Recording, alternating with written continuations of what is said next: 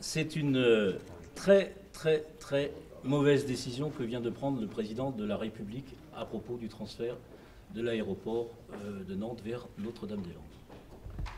C'est une euh, très mauvaise décision pour les habitants de Loire-Atlantique. C'est une très mauvaise décision parce que, au travers de cette décision, le président de la République piétine, piétine toutes les procédures publiques dans notre pays.